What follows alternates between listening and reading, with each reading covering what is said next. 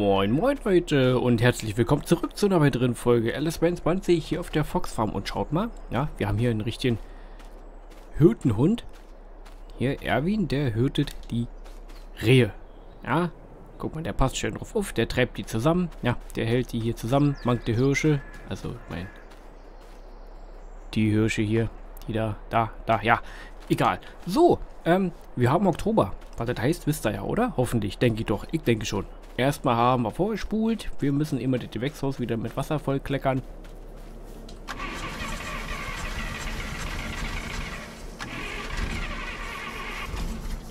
So, wenn er nicht anspringen will, dann hat er halt Pech. Warte. So. Genau. Okay, wir könnten jetzt schon in die Ernte gehen, denn so wie ich das aber gesehen habe, waren die Felder von der Wachstumsstufe in der unterschiedlichen Feldreife. Genau, Feld 10 können wir jetzt schon dreschen. Und unsere Sonnenblumen. Hier, Feld 15, nächsten Monat erst. Ist gar nicht schlimm, überhaupt nicht. Ähm, ach ja, ich habe beim letzten Mal das Feld hier hinten noch mit Gerste angesät und habe beide Felder fertig gewalzt und gestriegelt. Also wir sind dem Unkraut nochmal davon gekommen, komplett. Wir brauchen uns um die Felder auch nicht mehr kümmern. Hier ist alles wunderbar, tippitoppi. Da guck, 100% im Wachstum, kein Unkraut, kein ja nichts. Das kann einfach ganz fröhlich vor sich hin wachsen, bis wir mit dem Dröscher kommen und das platt machen. Genau. Die Sonnenblumen, die können wir dröschen, das ist toll. Aber da wir ein dickes, fettes Feld haben, was uns theoretisch eigentlich gar nicht so gehört, nur zeitweilig, ein Kredit, wir haben uns das mal gepumpt, müssen wir da jetzt ran. Ähm, demzufolge nehmen wir diesen Drescher. Und... Jetzt habe ich ein Problem. Ich habe nämlich in der Zeit, wo der Striegel und die Walze am so Dinge tun waren, im Giants Mod Hub nochmal nachgeschaut und habe zwei neue Maisibisse runtergeladen zum Klappen. Ein, ein großes Capello, äh, was 12 Meter hat. Die hier, die sind bei 10 zu Ende. Hier, guck mal, das Capello macht nur 9 Meter so, ja. Guck mal hier, wir haben ja das hier mit 10 und ich habe ein Capello runtergeladen zum Klappen mit 12 Meter. Und ein großes John Deere zum Klappen auch 12,3 oder so. Ja, haben wir jetzt nicht. Ist eigentlich ein bisschen schade. Egal, wir fahren jetzt erstmal mit unserem riesengroßen neuen Dröscher. Ähm, Richtung Feld Nummer 10 war das, ne? Ja. Und werden da den Mais runterhauen. Aber schaut mal, wenn wir von hier jetzt so wegfahren oder da mal hinkommen nach Richtung zu Hause, zu unserem Hof. Ich finde diese drei Rundbogenhallen, also diese Hangarhallen, die wir da haben. Ich denke, die stehen da schon recht gut. Oh ja, ein paar Plänchen hätte ich noch mit dem Hof, was wir dann noch verbessern können. Ich glaube, hauptsächlich brauchen wir nachher Unterstellmöglichkeiten für so Krempel, Gerätschaften. Von daher, ja. Ach ja, warte mal, da wir hier gerade an die ähm, Silageballen vorbeikommen, ich glaube, die sind erntereif. Wenn dieses Gras hier schnittreif ist, wir halten mal an und gucken mal nach. Ich glaube, das kann noch mal geschnitten werden, ne? Und die Silageballen hier, die dürften reif sein. Ja. Äh. Freunde, was haltet denn da, ihr denn davon? Wir schauen noch mal kurz in die Preisliste nach. Warte mal, wir sind im Oktober. Ja? Silage. Ähm, hat den Höchstpreis im Dezember. Frage, sind die... Äh, wahrscheinlich nicht, oder? Die Silageballen, die sind im Dezember nicht reif, oder? Die anderen, werden wir jetzt noch mal welche machen? Weil der Preis wäre bei 3,85 schon krass. Wir sind jetzt schon bei 4,37. Vielleicht müssten wir noch mal Gras mähen. Bevor wir dröschen. Oder während des Dröschens Gras mähen. Ja, Hätte ich gesagt, wäre eigentlich nicht verkehrt, oder? Da machen wir vielleicht nochmal eine Runde Silageballen daneben. Dann hätten wir die doppelte Menge zum Verticken. Das wäre echt krass. Wegen Geld und so, ihr wisst Bescheid. Weil Geld brauchen wir ganz dringend viel und davon haufenweise. Ja. Auf jeden Fall. So, da hinten das Goldene da. Da müssen wir hin. Ja. Der Vorteil ist, wenn wir dieses Feld niederhaben, können wir das sofort verkaufen und den Kredit schmälern, denn wir haben gerade massiv hohe Kreditzinsen. Ich glaube am Tag knapp 13.000. Schon echt kräftig. Sonst mit die 1,5 Millionen, die wir haben, sind wir bei 5.000 am Tag. Das geht noch, aber das haben wir gerade fast verdreifacht. Also ich hoffe, dass sich die Ernte hier lohnen wird. Da habe ich ganz starke Hoffnung, dass das der Fall ist. So, wir parken mal den Schnellwerkwagen hier vorne. Dann steht er nicht im Weg rum, denke ich mal, oder? Werden wir mal den Dröschkasten aufklappen. Ich könnte mir bald vorstellen, dass der bei der Arbeitsbreite vielleicht so äh, zwei Streifen als Feuerwände braucht. Ey, warte mal, kriegen wir das hier nicht runter? Hallo? Hallo? Och man. Doch, da. Haha. Äh, ja. Noch ein Grund mehr, dass wir dieses Schneidwerk vielleicht wieder abgeben. Ja. Oder der Schneidwerkwagen ist halt nicht die beste Wahl dafür. Das kann natürlich auch sein. So, ähm, wir machen hier vorne erstmal einen Stich, oder? Hätte ich gesagt. Ein bisschen dichter ran hier. So. Und Gebiet. Wir droschen Eis, Leute. Ist das nicht krass? Arbeitsgeschwindigkeit geht gar nicht.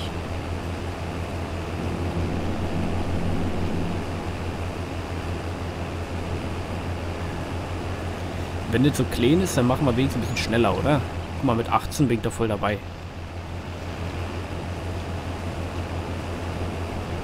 Ja, wie cool.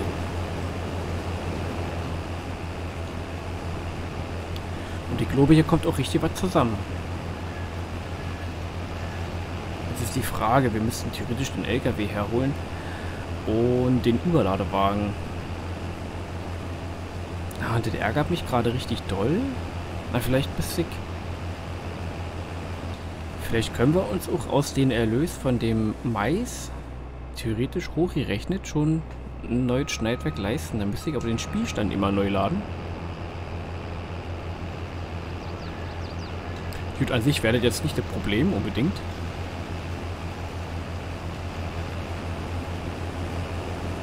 Guck mal, wie der sich hier durch Mais frisst. Schön.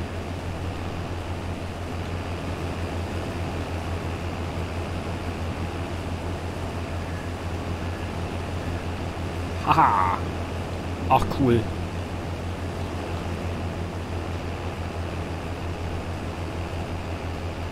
So, die Belichtung ist halt ein bisschen Käse. Okay. Jetzt schon zum Drittel voll. Ich denke mal, zwei Arbeitsbreiten hier passt, oder? Für Vollwände? Oh. Da wir doch glatt was stehen lassen. Das geht ja mal ja nicht. Komm mal her. Die müssen noch weg. So. Das Schöne ist, die anderen, die Capello-Schneidwerke, was ich da habe, die kann man zusammenklappen. Dann bräuchte man dafür theoretisch auch keinen Schneidwerkwagen, sondern kann die zusammengeklappt in der Ecke irgendwo hinstellen und dann sind die da und dann stören die da keinen. So. Ob der bis da oben hochkommt? Wir werden sehen. Auf jeden Fall werden wir Gras mähen. Mit der Gerät. Das Frontgewicht müssen wir mal abparken hier. So. Wir probieren das einfach mit die Silageballen. Vielleicht klappt das ja. Wenn wir dann jetzt nochmal eine Runde Silage haben, das wäre echt krass. Dann hätten wir nämlich den doppelten Schnitt zum Verkauf. Weil im Dezember, glaube ich, war der Verkaufspreis für Silage exorbitant am lohnenswertesten und deswegen müssen wir da nochmal ran. Eventuell Ach, das ist auch wieder so, ja. Würde ich aber gerne probieren, weil mit dem Helfer ist es ja möglich. Wenn wir jetzt das Gras mähen, hatte ich ja beim letzten Mal gesagt, dass wir eventuell diese Rundballenpresse mal probieren. und da einfach vorne einen Frontschwader ranpacken. Weil dann kann der Helfer damit was anfangen. Und wenn der dann Silageballen wickelt und die alleine rausschmeißt mit angeschalteter automatischer Ballenablage, das könnte unter Umständen funktionieren. Wir werden sehen, das wäre der Hammer. Dann kann man Silageball mit einem Helfer wickeln. Das wäre so unfassbar belohnend. Krass. So, der hat hier gleich das Ende vom Feld erreicht, ist bei 84%. Also ich glaube, sein Vorwände passt ihm hier nicht mehr in den Korntank. Bedeutet, wir müssten wirklich mit den Überladewagen mal anrücken hier. Ähm, ich merke gerade, dass es wieder hektisch wird, weil wir so viele Sachen gleichzeitig machen wollen. Aber ja. Erstmal das und mit denen hier fahren wir erstmal weiter.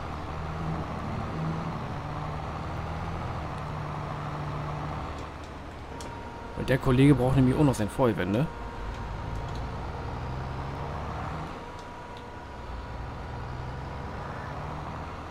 Gerade hier vorne bei den Ballen müssen wir mal selber mit der Hand mähen, dann wird das nichts.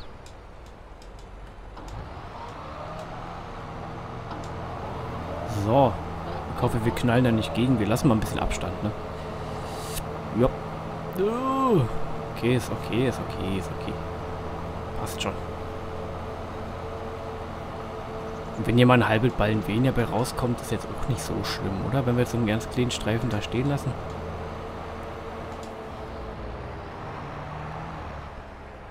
Okay, der hat einen vollen Korntank. Das ist gerade auch nicht so schlimm. Wir müssen hier mal schnell die Feuerwände fertig bauen und dann Kommen wir mit dem Überladewagen an die Droschen.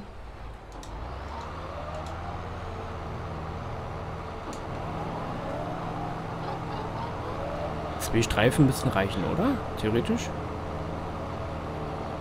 Ey, der wäre der Hammer, wenn wir den, also den Reifenstatus noch hinkriegen im Dezember.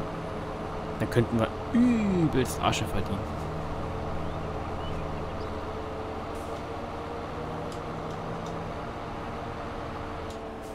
So.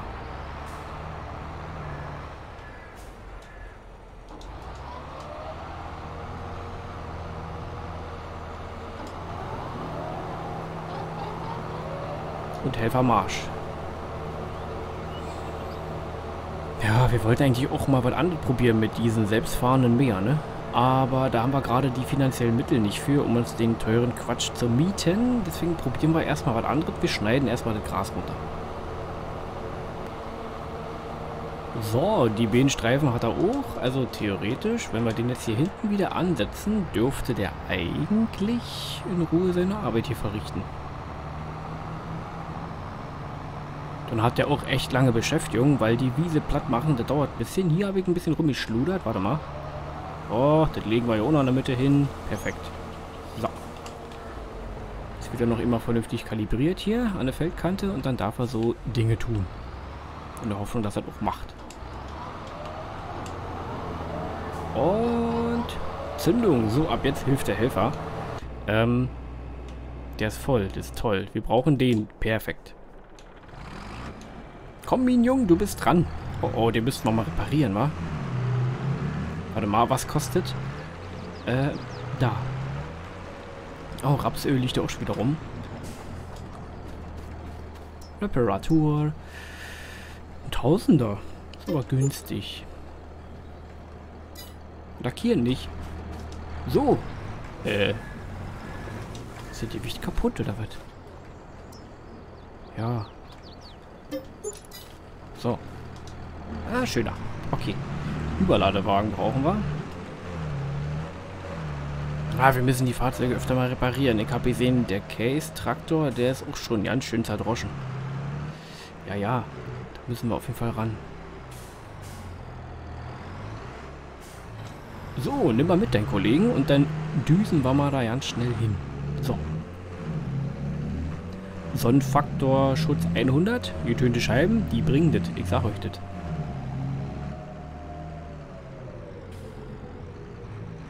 Weil mit einem LKW mit Straßenbereifung brauchst du nicht durch Maisfeld knattern. Da kommst du genau drei Meter weit und dann steckst du fest mit der Gerät. Ja, aber den holen wir da auch gleich. Der kann mitkommen. Oh, ich bin so gespannt, wie viel Mais wir da runterkriegen. Ich hoffe, das lohnt sich.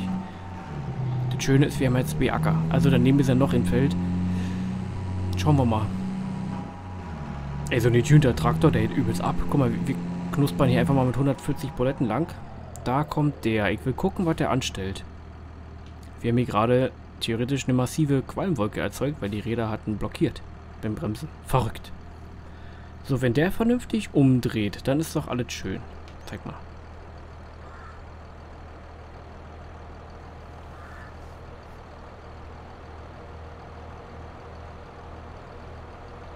Bitte dreh rum und fahr vernünftig weiter, so wie ich das wünsche. Ja. Alles klar, hier läuft's. Und dann geht das weiter am Text. Ihr könnt mir auch unter Umständen vorstellen, dass ähm, wir jetzt vielleicht in zwei, drei Folgen in eine Maisernte gehen. Und nebenbei Silage machen und so Quatsch.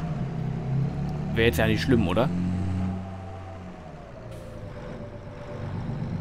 Wenn ich den Acker hier so sehe, ja, der ist zwar lang, also jetzt nicht besonders breit, aber lang ist er. Und wir fahren hier echt schnell. Echt schnell. Ja, ja. Also hier stehen schon so ein paar Meter. Das ist auf jeden Fall ordentlich.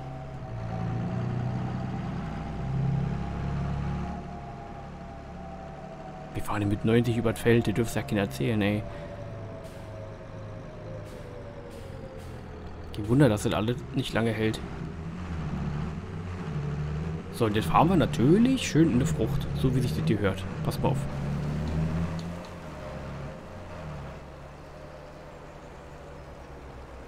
So, immer schön durchbügeln hier durch den Mais. Voll machen. Da kommt dann raus, das gelbe Gold. Ich hoffe nur, das lohnt sich. Wir können ja mal schauen. Ähm... Mais? Da ist er. 1, 2 im Juni. Ist gerade nicht so Konjunktur. Knapp die Hälfte nur. Ich hab's irgendwas Cooles im Angebot. Wir haben vorgespult. Ja, toll. Für günstig. Fantastisch. 100.000 weniger fast. Was kostet die neu? Warte mal. Die war, glaube ich, übelst teuer neu. 180? Ja, siehst du? Ein 100er weniger. Krass. Dankeschön.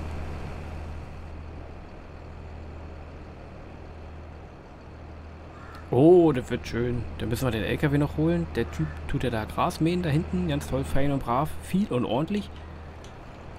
Vielleicht müssten wir da gleich mit dem Schwader ran dass wir das zusammenraffen, das war das mit so einem Frontschwader-Ding mit der Rundballenpresse. Wenn das so klappt, wir müssen probieren. Das wird wieder so ein Jugendforschprojekt werden auf jeden Fall.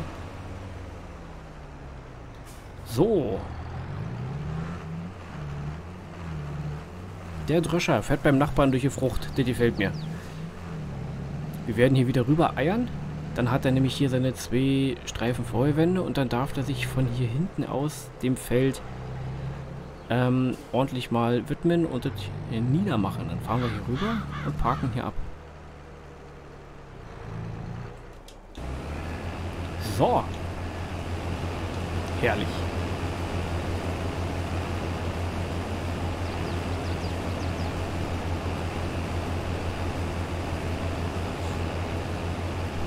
Guck mal da. Da rieselte drin. Na, schaffen wir noch die Glaskante, bevor das zu Ende ist hier, an der Feldecke. Ja, da kommt es hoch. Siehst du, da steigt es. Und wir sind hier gleich durch. Alter, man sieht ja ja nichts. Ekelhaft. Wie kann man denn bitte in der Innenansicht fahren mit einem Dröscher MLS? Du siehst ja mal überhaupt ein Jahr nicht. Vielleicht mit GPS oder so oder Curseplay, aber alleine fahren kannst du ja vergessen. Niemals. Ähm, Abfahrt. So, der tut hier Drischen tun. Wir holen mal den LKW, oder? Hätte ich gesagt. Komm mal her, Erwin. Du bist ein braver Hund, wie du auf die Rehe immer aufpasst. Ganz fantastisch. Ja, ja, ja, du bist ein toller. So, LKW.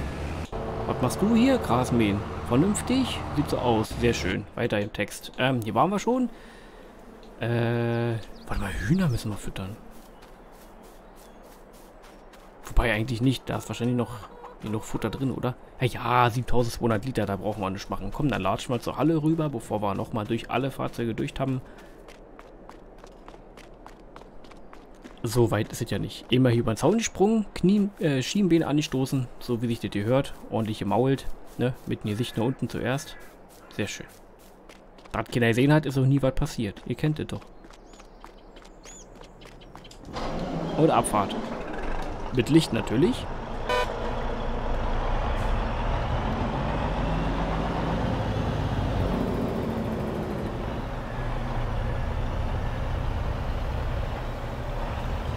So, dann hätte ich mal gesagt, wenn der Acker da oben nieder ist, machen wir hier mit den Sonnenblumen weiter.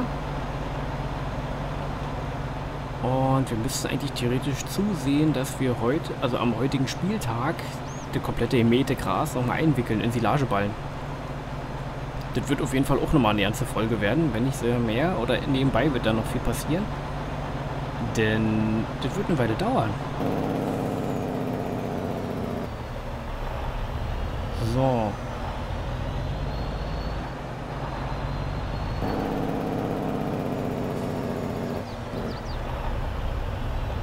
Jetzt stellen wir auf jeden Fall abfahrbereit hin. Oh, oh, oh, oh, oh. Bisschen doll lenkt, aber der matschige Maisboden, der schmiert aber kräftig. Hat ja auch geregnet im letzten Monat. Und aus. So, da steht der Kollege. Ähm, wir brauchen der Gerät. Wie voll war der? 65. Was, was veranstaltet er denn hier? Wieso wird, wird Hat der für irgendwas 8 Telegrafenmaste, alles klar. Oh, und ab die Dinger.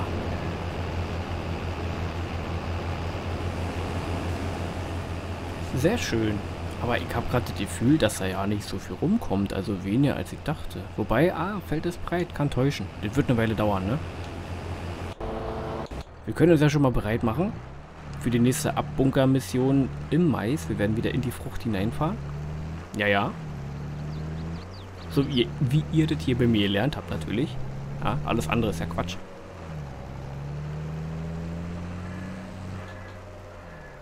So.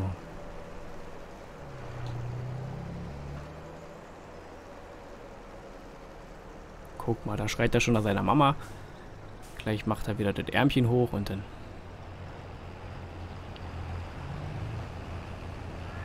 Was ein Timing. Also, dafür, dass die Felder relativ groß sind, ist der Vorteil natürlich, dass die Straßen alle wie mit einem Lineal gezogen sind und du kannst halt einfach geradeaus fahren, mehr oder weniger auf dem direkten Wege, ohne Schnörkeleien, ohne Berge, ohne Kurven, ohne dies, das, Ananas.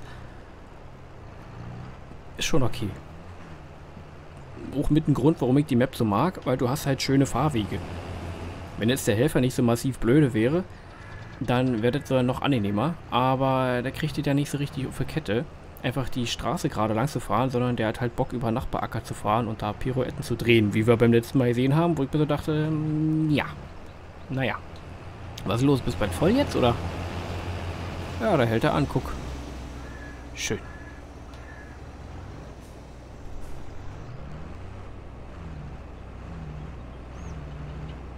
So, dann hauen wir raus.